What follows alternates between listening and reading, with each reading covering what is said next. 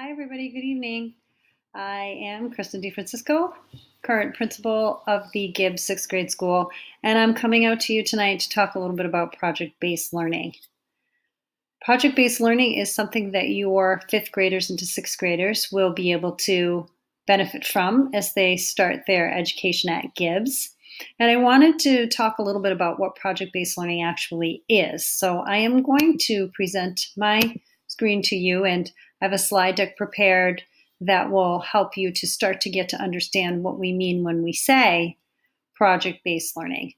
Um, oftentimes, you know, people think project-based learning means that a, there's a, a product attached to, to the project, like a poster board or uh, an oral presentation, or maybe even in my day of growing up, a diorama, let's say.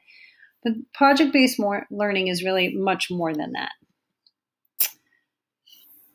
Gold standard project based learning has certain hallmarks um, and components. And so I'll talk a little bit about those. Um, Gold standard PBL has seven essential design elements, and the project is driven by a challenging problem or question. At Gibbs, we've acknowledged that this type of learning is new for students and that the skills that they need in order to engage in seven essential design elements with, driven by a challenging problem or question, those skills really still need to be developed. So we affectionately have called it rose gold. And we've designed a program that releases responsibility out to students over three trimesters. So if you're thinking about the gold standard project-based learning, those areas, those seven areas are a challenging problem or question, sustained inquiry, authenticity, student voice and choice, reflection, critique and revision, and a public product. And this kind of learning really makes school more engaging. Kids are really engaged in, in their projects. Um, it improves learning. It builds success skills for college, career, and life. It addresses standards. It provides opportunities for the use of technology, real good uses of technology, not just sending an email or um, using a calendar. Um, connects students with school, community, and real world, and promotes educational equity. So these are the seven real hallmarks, and our projects certainly do that, but I'll talk a little bit about how we also embed opportunities for kids to build skills that will help them do this kind of learning for the rest of their education and beyond. So Gibbs has made these acknowledgments planning, prioritizing, managing time, organizing, persisting, taking notes, using technology, and working in groups flexibly, as well as reflecting, are all things that students are going to need to be able to do to successfully participate in a project-based learning environment. And this is the perfect time to start talking about these things because in sixth grade, what we know about sixth grade is developmentally, their frontal lobe is ready to grow and ready to learn all of these different skills. So we designed this in a way to release responsibility out to our students. So for example, in trimester one, our students have historically engaged in answering que the question, why is a sixth grade only school a great place to go to sixth grade? What are the advantages? Are there disadvantages? Um, that was a wonderful project. Kids really got into learning about the brain and understanding where they were developmentally. I'm hoping that this will be repeated trimester one next year. And if it isn't this exactly, it will be something very much like it.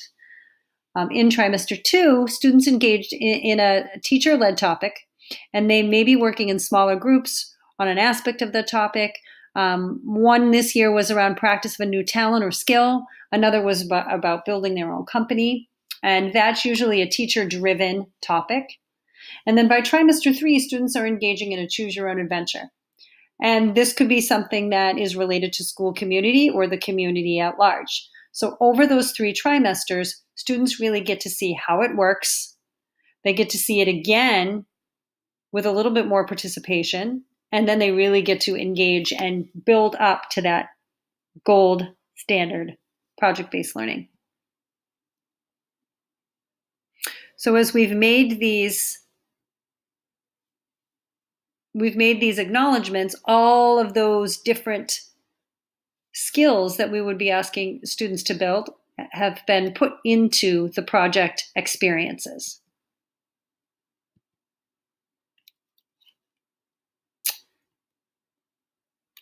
And what you might um, find that you are going to be working on at home over the summer.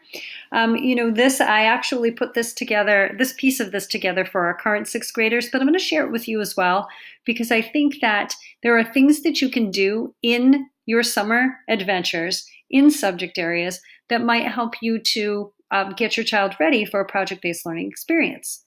So, science, you might think about a cause in, in the area, and maybe it has to do with a local conservation area or an animal that is endangered here. And starting to do some research around those things and just getting to know about it will help build skills for project based learning. In math, you might collect data around something and discover a question it might lead you to. What does that data make you wonder about? In ELA, you might think about adopting a book to read as a family around social justice Find a question within that social justice topic. In social studies, you could define civics for your child. You think about something that your child might be wondering about and where you could go for more information.